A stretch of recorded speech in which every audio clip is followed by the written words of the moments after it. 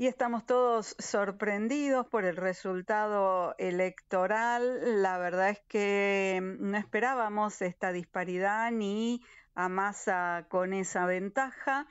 Eh, las encuestas no estaban dando este panorama, por lo menos hasta fin de la semana. Después, bueno, parece que en el fin de semana empezaron a encontrar indicios que mostraban una superioridad de, de Massa sobre Milley pero lo cierto es que la diferencia es bastante grande y tampoco se esperaba que Patricia Bullrich quedara tan rezagada. Bueno, ¿qué es lo que pasa ahora en este panorama? ¿Cuál es el análisis que tenemos que hacer para entender un poco todo esto? Está con nosotros el analista político Carlos Fara. ¿Qué tal, Carlos? Un gusto saludarte. Bienvenido al programa. ¿Cómo estás? ¿Qué tal? ¿Cómo va? Todo bien, gracias. Eh, Carlos, no, para, romper el fuego nomás. ¿La grieta se murió, como dijo Massa? No, no, la grieta no se murió, pues imagínate que es un proceso social, cultural de largo plazo, ¿no? Pero es un argumento político atendible. Eh, lo cierto, digamos, es que, bueno, eh, al, estar, digamos, este, eh, debilitadas las dos coaliciones, ¿no? Simplemente como para tomar este, la el electorado eh, en el año 19, entre las dos coaliciones, eh, bueno, Unión por la Patria y Juntos por el Cambio, había juntado el 88%, ¿no? Y ahora están juntando el 50 y el, 60% más o menos, 37, 37 y 24 son 61%. O sea que entre las dos coaliciones perdieron 27 puntos aproximadamente. Eh, mi ley saca 30, así que bueno, un poco tenés el panorama. Sí. Eh, me parece que lo, los dos, eh, desde ese punto de vista, perdieron frente a un nuevo clivaje que logró instalar este, Milley, que es el tema de la, de la, de la, de la casta anticasta. ¿no? Uh -huh. Entonces, este, desde ese punto de vista, no, no se terminó, pero sí está claro, digamos, que era una situación que ya mucha gente no soportaba, encima teniendo en cuenta, digamos, la sucesión de gobiernos que terminan con balance negativo. ¿Y, ¿Y, ves probable que parte del radicalismo se sume a Massa y parte del PRO se vaya con Milei? Eh, ¿Esto implicaría que Juntos por el Cambio, como entidad, como alianza, dejaría de existir? Mira, me parece de corto, mi, impresión, digamos, es que de corto plazo no, probablemente busquen como alguna, algún tipo de, vamos a decir, de, de argumento para que no se rompa en el corto plazo y, y tomar y eventualmente revisar cosas a partir de eh, después del después de la, del balotaje, ¿no? Uh -huh. Una alternativa que pueden tomar es que bueno que, que, frente a la disputa digamos que hay libertad de acción, ¿no? Y que por lo tanto digamos cada uno a título individual podrá hacer tal o cual cosa, pero es no lo que, es lo que dijo la coalición cívica ayer ya liberó claro, claro a todos de, de, algún compromiso, cada uno elige según su mejor saber y entender. Claro, totalmente, y que eso, digamos, sea un poco la, posición de la fuerza, de, de, digamos, de la coalición, en el sentido de que, bueno, cada partido se reúne y toma una decisión frente a una situación, digamos, en donde ya no, no están en competencia. Entonces, desde ese lado, eh, viste, es como rodear el problema lo postergás, por supuesto que no lo resolvés, pero por lo menos no tenés una ruptura inmediata con, todo lo que eso significa, eh, eso por un lado.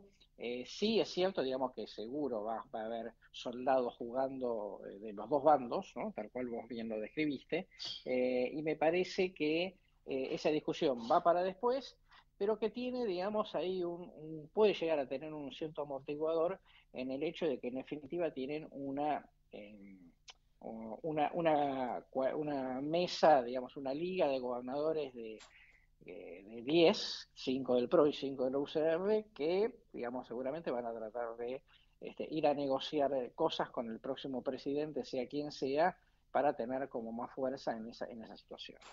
Ajá, bien, y eh, acaba de renunciar a su candidatura Leandro Santoro.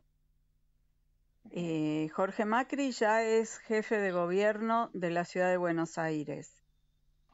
La ciudad de Buenos Aires va a ser el refugio de Juntos por el Cambio, así como la provincia de Buenos Aires va a ser el refugio del kirchnerismo?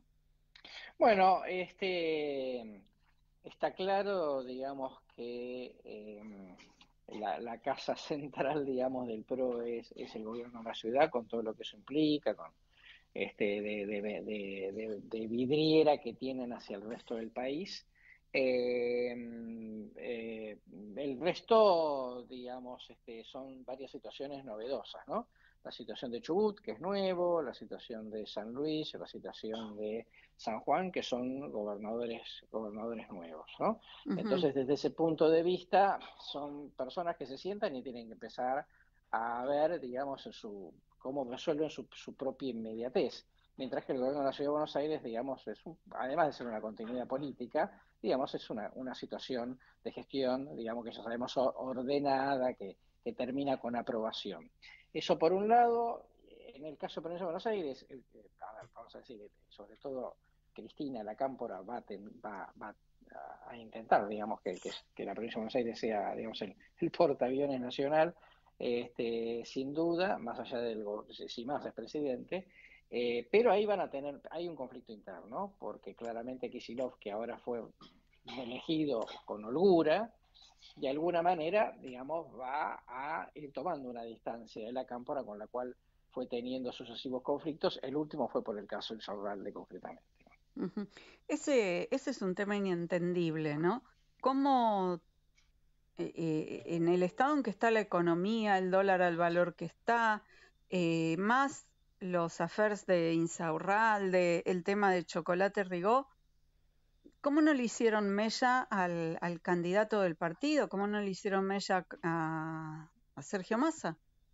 Bueno, primero yo creo que todos los eh, votantes de, del 2019, que, el 48% que votó Alberto, todos los que se fueron decepcionados por la corrupción, ya se habían, ya se ido hace mucho tiempo, ¿no? Digamos, no, no, ya creo que, que, el tema, el, ítem, este, eh, eh, corrupción ya no era un, ya no era un, ya no era un punto para, para por lo menos para esos 30, 37% que consiguieron el domingo, eso por un lado. Segundo, eh, también tener en cuenta que en función de eso, eh, digamos, y estando, digamos, la situación económica como tema principal, eh, dejaba un segundo o tercer nivel el tema corrupción. Entonces, desde ese punto de vista, con esa confluencia de cuestiones, eh, bueno, digo, obviamente este, el, punto del votante de masa este, no pasaba por ahí, por lo tanto no, no, le iba a afectar, salvo que hubiera una afectación directa, cosa que, bueno, por ahora, digamos, es, es totalmente hipotética. ¿no? ¿El plan platita y el plan miedo crees que fueron útiles, funcionales a su crecimiento? Sí, sin duda. Este, el plan platita sin duda, porque digamos en el medio del, fogonazo inflacionario, lo que más se dice, bueno, tenés más inflación, pero yo te, doy una ayuda, por lo menos de corto plazo, eso sí, digamos, creo que, definitivamente tuvo efecto.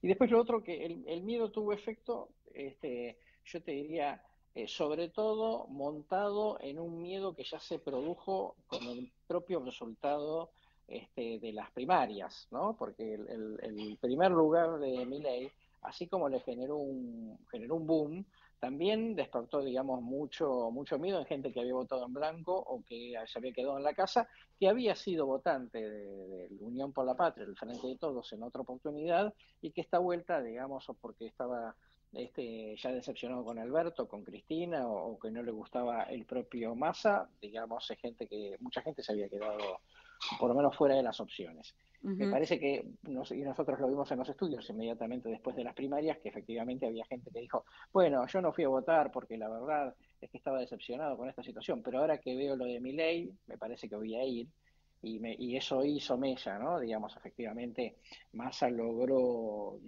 más de dos millones de votos comparado con la con las PASO, este, y eso fue lo que elevó eh, a Unión por la Patria el 27 al 37%. ¿Y cómo crees que se van a distribuir los votantes de, de Bullrich? ¿Va a aumentar el voto en blanco, el voto impugnado? Eh, es una buena pregunta. A ver, yo creo que es probable que aumente el voto en blanco y, la abstención, porque haya gente que se sienta, digamos, afuera de esta, de esta disyuntiva, Que, que, no se sienta cómodo con ninguno de los dos. La mayor parte, obviamente, digamos, el, voto de Patricia es un voto por el cambio, pero claro, por, un, por otro tipo de cambio, digamos, ¿no? Aunque más no sea este, no, no, solamente digamos algunas cuestiones de contenido, de moderación, sino también en cuestión de estilo, ¿no? Del propio Milley. Entonces, me parece que hay un voto que a Milley no puede contar porque se le va a perder por el camino. Eh, sí creo que en principio, digamos, la mayor parte del voto de Patricia debería ir a Milley. ¿Cuánto? Vamos a verlo en las próximas semanas. Eh, obviamente el votante de izquierda, aunque no le guste masa, digamos, este, se come el, sapo. y el espanto que le genera, digamos, este, ya lo, es demasiado grande. Lo dijo Miriam Bregman ayer. Claro, totalmente. Y, bueno, y después está el voto, un voto, digamos, estratégico, que es el voto de, de, Schiaretti, ¿no? Porque el voto de Schiaretti es un voto moderado, es un voto de centro moderado, es un voto anti-K, eh, pero, eh, digamos, eh, me parece que le queda lejos a mi ley, insisto, tanto por contenido como por estilo también. Si Massa hace una campaña astuta este, de convocatoria a un centro moderado, eh, puede captar este, buena parte del voto de Schiaretti. Sí, aunque la provincia de Córdoba le dio un aval muy fuerte a Milei. Sí, totalmente. Milei volvió a salir primero, igual que la vez pasada. Schiaretti salió segundo. Este, Bullrich terminó tercera y hoy el cuarto lejos fue, fue Massa, ¿no? Pero bueno, acá viste que, que, que después empiezan a jugar las cuestiones de no tanto lo que te gusta, sino lo que te da miedo, digamos, a lo que te parece, lo que te parezca la peor opción. Sí, sí, estás eligiendo este, el menos peor, diga. exactamente, exactamente, exactamente, así es. Bueno, bueno, vamos a ver cómo avanza todo esto. Seguramente en estos días haya muchas novedades, muchos, muchas declaraciones y, y todos podamos ir tomando diferentes decisiones respecto de qué vamos a hacer el 19 de noviembre. Muchísimas gracias, Carlos Fara. Siempre un placer hablar contigo. Igualmente para mí. Que tengas linda jornada. Igualmente. Adiós.